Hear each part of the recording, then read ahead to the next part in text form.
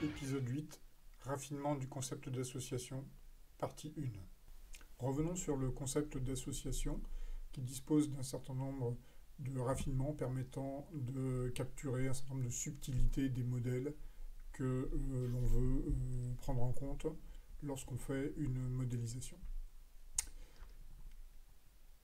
Il s'agit de la notion de réflexivité d'une association, du fait qu'une association peut être unie ou bidirectionnelle, un cas particulier d'association qui est la composition, ensuite les classes associatives, et un autre cas particulier qui sont les associations qualifiées, ainsi qu'un certain nombre de contraintes qu'on peut ajouter sur une association. Commençons par les associations réflexives. Une association réflexive lit simplement des objets d'une même classe. Donc c'est une classe qui est en association avec elle-même. On voit par exemple ici le fait que la classe personne, eh bien, euh, dans son rôle de chef, il y a une personne qui joue le rôle de chef encadre un ou plusieurs sous-fifres, c'est-à-dire au moins un sous-fifre. Et dans l'autre sens, une personne qui joue le rôle de sous-fifre est encadrée par exactement un chef. Donc il n'y a aucun problème à faire en sorte qu'une association aille sur la même classe. Ce que ça veut dire au niveau du diagramme d'objet, c'est simplement qu'un objet personne encadre un autre objet personne. D'accord? Donc la réflexivité, elle est apparente en termes de classe, mais sur le diagramme d'objets, eh bien évidemment, ce sont des objets différents qui sont euh, potentiellement connectés entre eux. Deuxième euh, concept, la navigation d'une association. Par défaut, une association en UML euh, s'écrit simplement un trait entre deux classes et est navigable dans les deux sens, hein, comme on voit par exemple sur l'exemple précédent, c'est-à-dire on peut aller du chef vers le sous-fifre, mais on peut aller aussi du sous-fifre vers le chef. Hein. Ça a du sens dans les deux cas, on, est encadre ou on est encadré. Euh, dans un certain nombre de, situations, on peut vouloir faire en sorte de dire qu'un des deux sens n'est pas possible. D'accord? Donc, dans ce cas-là, quand on peut naviguer que dans un sens et que, du, c'est quelque chose qui est important pour le domaine qu'on veut modéliser, eh bien, on va pouvoir le capturer en UML euh, en faisant en sorte que l'association soit nivelle que dans un sens. Par exemple, dans cet exemple-là, le compte, on pourra savoir qui est son titulaire, mais le client ne pourra jamais savoir quels sont ses comptes en banque.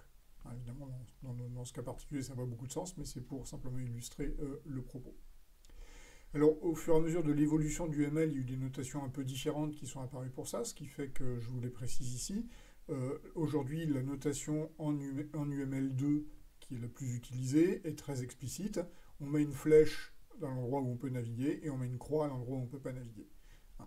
Euh, les autres notations viennent des anciennes versions, des anciennes versions du ML.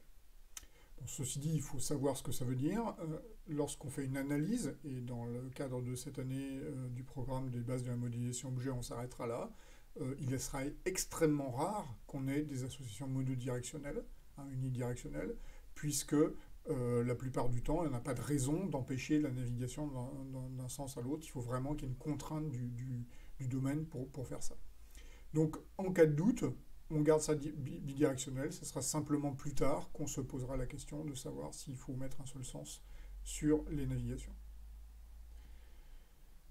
Autre euh, variante d'une association qui est ce qu'on appelle la composition la composition va permettre de capturer euh, le fait qu'un objet est composé d'autres objets. C'est-à-dire qu'on a la notion intuitive de composant et, de composite.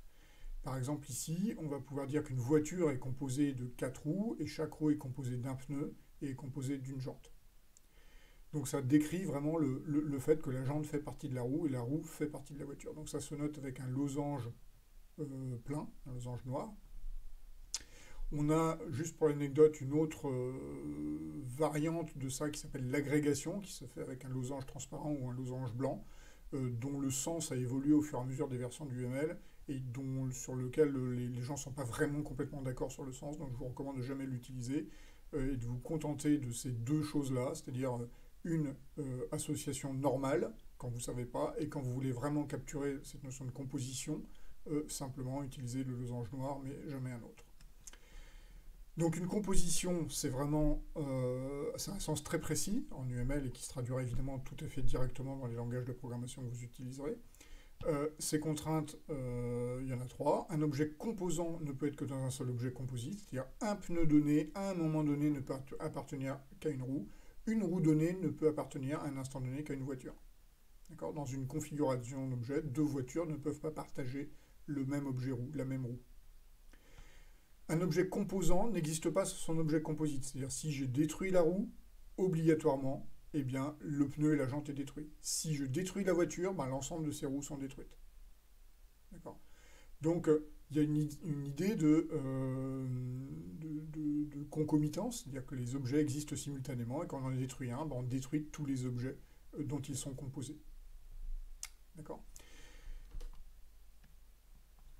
Donc, on peut très bien se retrouver dans cette situation-là, hein, cette relation de composition. On va vouloir décrire, par exemple, qu'un document, par exemple un livre, est constitué et composé d'un ensemble de chapitres. Chaque chapitre est composé de sections et de figures. Puis là, j'ai quelque chose qui trouble souvent les gens, qui est que euh, euh, un document est aussi composé de figures. Or là, je viens de vous dire qu'un objet composant peut être que dans un seul objet composite. À votre avis, est-ce qu'il y a un problème? Non. Pourquoi il n'y a pas de problème? Parce qu'ici, je suis au niveau du diagramme de classe. Est-ce que les contraintes que j'exprime au niveau du diagramme de classe sont valables pour le diagramme d'objet sous-jacent Diagramme de classe, je suis au niveau M1. Diagramme d'objet, je suis ici. Par exemple, si j'ai un diagramme d'objet qui représente un document donné, un livre donné, qui est constitué d'un premier chapitre qui a ses sections et cette figure, d'un deuxième chapitre qui a cette section, et puis, hors des chapitres, qui a une figure. D'accord? Donc, ce qu'on dit ici, c'est qu'un objet donné doit être dans un seul autre objet, ce qui est le cas. Hein, la figure, elle est dans ce chapitre, et la figure, elle est dans ce document. C'est-à-dire chaque objet est bien dans un autre. Par contre, au niveau des classes, il n'y a pas de contrainte particulière, il n'y a rien qui empêche cette classe-là d'être un objet composant de ces deux objets. Euh, un, objet instance de la classe figure peut être un objet composant d'un objet instance de chapitre ou d'un objet instance de document, mais pas les deux en même temps. D'accord? Donc c'est quelque chose qui est euh, à nouveau, comme toute contrainte qui s'exprime au diagramme de classe, elle a un sens sur le diagramme d'objet qui est sous-jacent. Et ici, ben, finalement, cette notion de est composé de est composé de, eh bien, c'est euh, ce qu'on va retrouver de manière très classique en informatique. Euh, la notion de structure de données quand vous avez un arbre, ben, la manière dont vous modélisez un arbre en UML, c'est simplement grâce à cette composition. Un document euh, est composé de, est composé de, et à la fin, vous avez des feuilles, et ici, vous avez des nœuds de l'arbre. Donc euh, le, graphe d'objet forme donc un, arbre ou une forêt, et vu dans l'autre sens, ben, si la structure de données que vous allez modéliser, c'est un, arbre, vous allez la modéliser de cette manière-là. Autre cas particulier d'association, les associations NR, c'est-à-dire les associations entre plus de deux classes. Jusqu'à présent, toutes les associations qu'on avait vues euh, mettent en, lien simplement deux classes. Or, rien n'empêche de mettre plus de classes en, association. Par exemple, si je m'intéresse ben, juste euh, à, ce cours BMO, euh, en réalité, il y a trois concepts. le professeur, l'enseignant, c'est-à-dire euh, moi en l'occurrence, euh, euh, la matière qui est enseignée, BMO, et la classe, c'est-à-dire vous qui êtes en train d'écouter ces choses-là. Et ce qui nous réunit là pendant que vous écoutez cette vidéo, hein, c'est le fait que vous êtes intéressé par la matière BMO qui est enseignée par moi-même et vous faites partie d'une certaine classe. D'accord? Donc c'est ce qu'on appelle une relation, ternaire, ou un enseignement, bah, dans cette relation ternaire d'enseignement, euh, euh, le, cours peut être donné par différents enseignants. Hein, je ne suis pas le seul enseignant de BMO. Euh, l'enseignement, il y a plusieurs matières. Et puis, il y a un certain nombre de destinataires.